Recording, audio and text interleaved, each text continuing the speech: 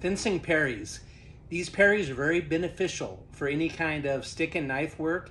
And you will see some of these parries are in Sumbrada and other Filipino training and skill drills.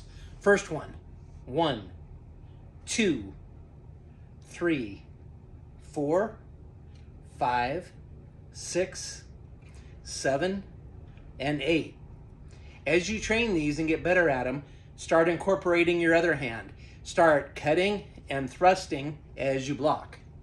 One, two, three, and so on. These can be used with a smaller knife. Same principle. One, two, three, four, five, six, seven, and eight. And then empty hand. From here, one, two, three, four, five, six, seven, and eight. Start punching with your other hand as you block. One, two, and so on. Are those looking familiar? So these are the fencing parries.